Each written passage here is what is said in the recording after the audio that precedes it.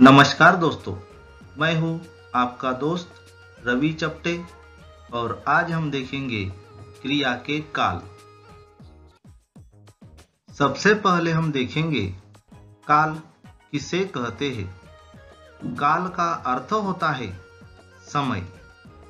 क्रिया के जिस रूप से कार्य करने या होने के समय का बोध होता है, उसे क्रिया का काल कहते हैं।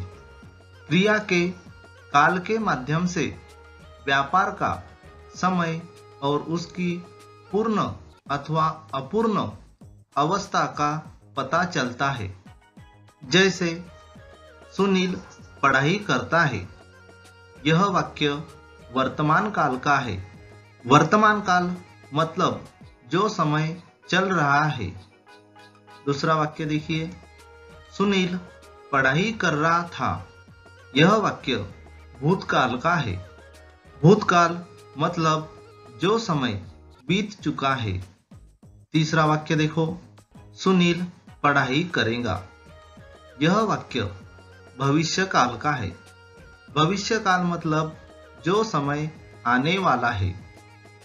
इन तीनों वाक्यों में करता है, कर रहा था, करेगा। इस क्रिया के माध्यम से कार्य करने या होने के समय का बोध होता है। मुख्य रूप से क्रिया के तीन काल होते हैं। एक, वर्तमान काल, दूसरा, भूतकाल, तीसरा भविष्य काल वर्तमान काल से हमें चल रहे समय का बोध होता है। भूतकाल से हमें बीते हुए समय का बोध होता है और भविष्य काल से हमें आने वाले समय का बोध होता है। मुख्य रूप से क्रिया के तीन काल होते हैं, यह हमने अभी देखा है। अब हम देखेंगे वर्तमान काल किसे कहते हैं। क्रिया के जिस रूप से कार्य का वर्तमान समय में होने का बोध होता है, उसे वर्तमान काल कहते हैं।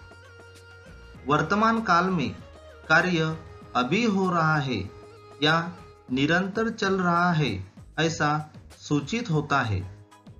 जैसे सुनील पढ़ाई करता है, मैं घर जा रहा हूँ। शीतल ने आम खाए हैं। दिल्ली से गाड़ी आती होगी। दिनेश आया हो। इन वाक्यों में क्रिया के रूप से हमें कार्य का वर्तमान समय में होना सूचित हो रहा है। यहाँ पर पाँचों वाक्य आपको अलग अलग दिखाई दे रहे हैं। तो आपको मैं बता दूँ, पहला वाक्य यह सामान्य वर्तमान काल का है। दूसरा वाक्य यह अपूर्ण वर्तमान काल का है। तीसरा वाक्य यह पूर्ण वर्तमान काल का है। चौथा वाक्य यह संदिग्ध वर्तमान काल का है और पांचवा वाक्य यह संभाव्य वर्तमान काल का है। भूतकाल किसे कहते हैं? क्रिया के जिस रूप से बीते हुए समय का बोध होता हो, उसे भूतकाल कहते हैं। दूसरी परिभाषा देखो। जिस क्रिया से कार्य के समाप्त होने का पता चलता है उसे भूतकाल कहते हैं। जैसे दीपक ने पत्र लिखा आकांक्षा खेल रही थी। हर्षदा ने गीत गाया था छात्र फुटबॉल खेले होंगे। रामा ने अनार खाया है। इन वाक्यों में क्रिया के माध्यम से हमें कार्य समाप्त होने का पता चलता है। यहाँ पर पहला वाक्य यह सामान्य भूतकाल का है।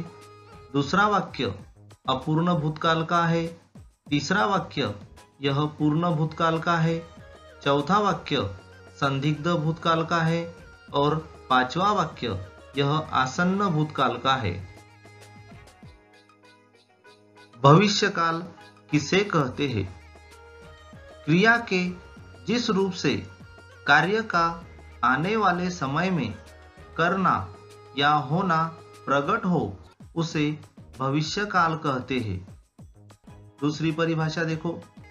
भविष्य में होने वाली क्रिया को भविष्य काल कहते हैं।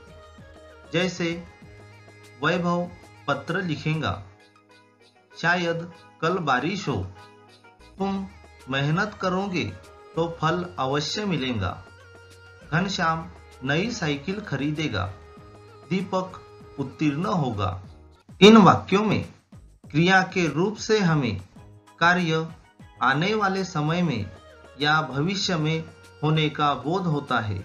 यहाँ पर पहला वाक्य यह सामान्य भविष्य काल का है। दूसरा वाक्य यह संभाव्य भविष्य काल का है। तीसरा वाक्य हेतु हेतु मध्य भविष्य काल का है। चौथा वाक्य सामान्य भविष्य काल का है और पांचवा वाक्य यह संभाव्य भविष्य काल का है। अगले वीडियो में हम वर्तमान काल, भूतकाल और भविष्य काल के भेद देखेंगे। धन्यवाद दोस्तों।